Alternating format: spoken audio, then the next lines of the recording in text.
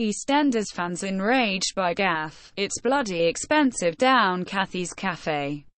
If you are ever in Albert Square, you might want to steer clear of Kathy's.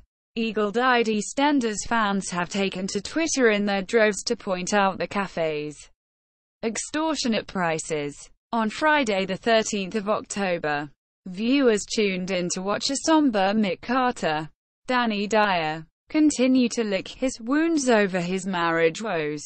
When his mother Shirley Carter, Linda Henry, joined him in the cafe for a pep talk over a cup of tea.